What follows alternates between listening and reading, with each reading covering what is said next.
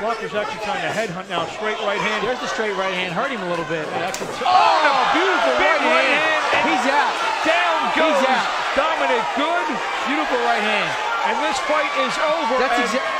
That's exactly what we were saying, walking him down, giving him no real estate, and straighten the right hand right out. And that's exactly what he did for a straight right hand. And he was out before he hit the mat. Dominic Good is knocked out. His, his eyes just open, which is a good sign. But that was a perfect right hand. And Dominic Good was knocked out. Good job. Well, Blocker said he wanted to go home early, get it over with. Uh, you know, and that's exactly what he did, Mark. Just, uh, hopefully Dominic Good is all right. I think he's. He's responding. He's responding to everybody. Let's so uh, see the shot on replay. It was a perfect right hand. You see here, he's walking him down, cutting the ring off, no real estate. And there's Oh. the right hand.